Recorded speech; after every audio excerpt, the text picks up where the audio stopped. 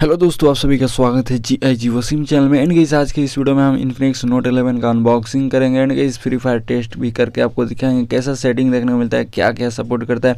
यहाँ पे कैसे आपको AMOLED display G eight eight processor 33 watt का चार्जर 50 मेगापिक्सल का कैमरा 16 मेगापिक्सल की सेल्फी एंड डुअल स्पीकर का सपोर्ट दिया गया। तो इस सभी चीज़ों का चेक करेंगे एंड आपको दिखाएँगे कैसा परफॉर्म करता है। तो वीडियो को लाइक करके चैनल को सब्सक्राइब कर लीजिए।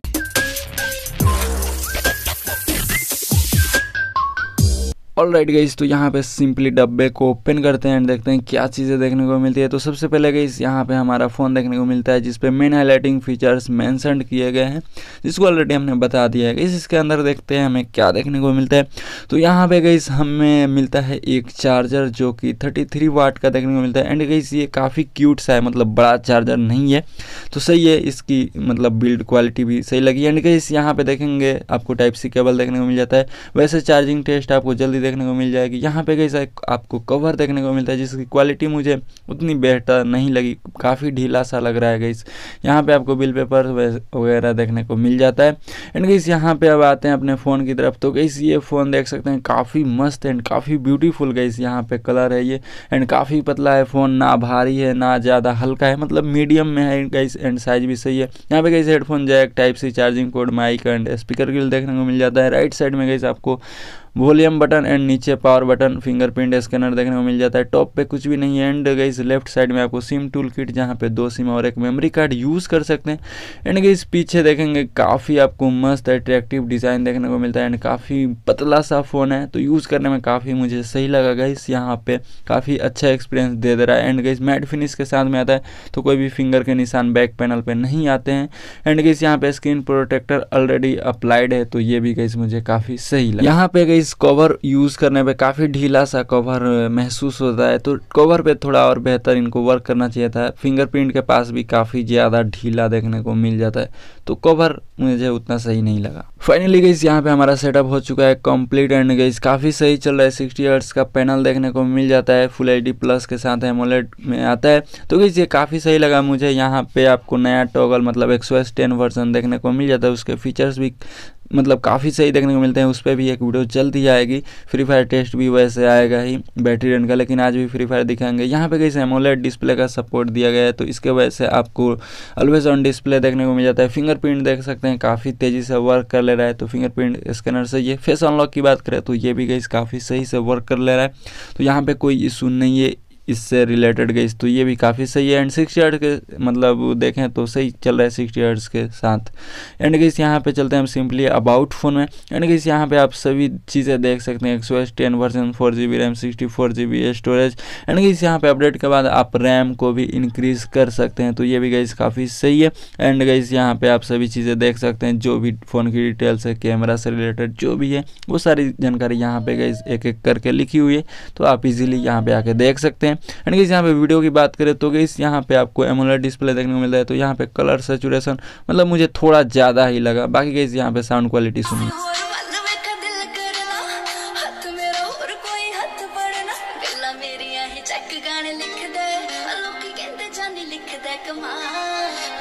सो गई साउंड क्वालिटी यहाँ पे मुझे बेटर लगी बट डुअल स्पीकर के हिसाब से उतना ज़्यादा लाउड मुझे नहीं लगा, और लाउड होना चाहिए था। एंड कैसे यहाँ पे बात करते हैं अब कैमरा के बारे में तो कैसे यहाँ पे 50 मेगापिक्सल का बैक में कैमरा देखने को मिलता है 2 मेगापिक्सल का macro and AI sensor front में 16 मेगापिक्सल देखने को मिल जाता है। यहाँ पे कुछ सैंपल्स हमने लिया है।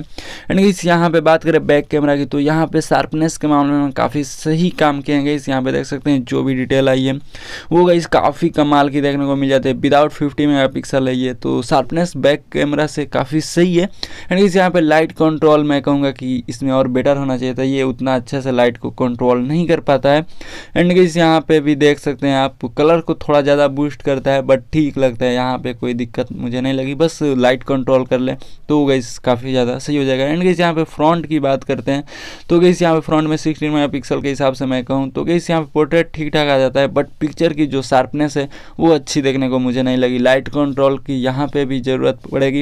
एंड गई यहाँ पे शार्पनेस चाहिए और थोड़ा डिटेल्स उतनी अच्छी देखने को नहीं मिलती है सिक्सटीन मेगा के हिसाब से एंड लाइट कंट्रोल तो मैं बार बार कहूँगा कि करना इनका ज़रूरी है बहुत। अब गई यहाँ पे परफॉर्मेंस की बात करते हैं तो फ्री फायर को ओपन करते हैं। यहाँ पे गई मिलता है हमें मीडिया टेक का हिलियो जी प्रोसेसर जो कि गई काफ़ी अच्छा प्रोसेसर है। यहाँ पे इन्फिनिक्स नोट इलेवन में मतलब ये दिया है, और हॉट एलेवन जो आपको सामने दिख रहा है, उसमें भी दिया हुआ है। तो गई वहाँ पर मैंने चेक किया काफ़ी मस्त परफॉर्म करता है। बाकी इसका BGMI test free fire test free fire max test, सभी वीडियोज़ आपको जल्दी देखने को मिल जाएँगी। तो उसके लिए गई आपको बस कुछ नहीं करना। वीडियो को लाइक कीजिए चैनल को सब्सक्राइब करके वेट कीजिएगा सारी वीडियोज़ आपको देखने को मिल जाएँगी एक एक करके। एंड कॉम्पेयर भी आएगा यहाँ पे इन्फिनिक्स हॉट एलेवन एस से नार्जो थर्टी से Realme eight five G से। इन सभी फ़ोन से भी कॉम्पेयर आएगी। And Micromax In Note two भी देखिएगा जल्दी ही आ जाएगा मे बी तो उसका भी वीडियोस आपको देखने को मिल जाएँगी। बाकी इस यहाँ पे परफॉर्मेंस की बात करें, मैंने फ्री फायर टेस्ट इसका कर चुका है। तो इस काफ़ी सही परफॉर्म किया है। यहाँ पे कोई कोई इशू है, वो मैं आपको बताऊँगा। वो वीडियो का आप थोड़ा सा वेट कर लीजिए एंड गई अभी मैं कहूँ, जितना भी यूज़ किया तो गई यहाँ पर कोई भी मुझे इशू देखने को नहीं मिलता है। परफॉर्मेंस में भी काफ़ी सही वर्क कर लेता है। रिकॉर्डिंग के भी साथ में अच्छा परफॉर्म करता है। तो लैग वैग बिल्कुल ही देखने को नहीं मिलता है। एंड गई इसकी प्राइस की बात कर ले तो अभी साढ़े बारह हज़ार पर फ़र्स्ट सेल में बारह हज़ार में मिल रहा था। तो अगर सेल पे बाई चांस कभी लेते हैं तो आपको बारह में इजीली मिल सकता है। तो ये गई काफ़ी सही हो जाता है बारह हज़ार के प्राइस रेंज में। लेकिन गई यहाँ पे जो माइक्रोमैक्स का इन नोट टू आया, वो बारह हज़ार के, साढ़े बारह हज़ार के रेंज में सभी फ़ोन्स को किल कर दिया है। बिकॉज़ गई वहाँ पे जी नाइन्टी फाइव प्रोसेसर देखने को मिलता है, जो कि काफ़ी पावरफुल हो जाता है जी एटी एट से जी एटी फाइव से जी एटी से। इसके वजह से गई वो मुझे थोड़ा बेहतर बेटर हो जाता है बेटर लगा मुझे। तो उसको आप देख सकते हैं एक बार, लेकिन गई वहाँ पे भी अपडेट नहीं मिलता है इन्फिनिक्स में भी अपडेट अच्छा देखने को नहीं मिलता है। तो आप अपना देख सकते हैं। बैक बाकी इस फ़ोन का टेस्ट आपको सारी देखने को मिल जाएगी। तो दोस्त, फ़िलहाल वीडियो में इतना ही। उम्मीद है आपको वीडियो अच्छी लगी होगी। ज़रूर से वीडियो को लाइक करके चैनल को सब्सक्राइब कर लीजिए। तो कैसे मिलते हैं आपसे अगले वीडियो में। तब तक के लिए दोस्त बाय बाय